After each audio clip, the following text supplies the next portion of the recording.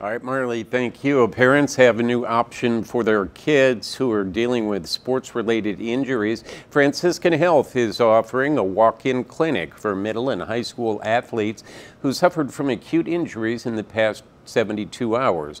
The clinic is in Suite 100A inside the Lafayette Family YMCA. It's open on Mondays through October 23rd and operates on a first come, first serve basis. Check-in is from 7 to 8.30 in the morning. Injuries that can be treated at the clinic include sprains and strains, hand, wrist, shoulder, ankle, or knee injuries, as well as broken bones and other injuries. On site x ray bracing, casting, splinting, and specialty referral services are also available at the clinic.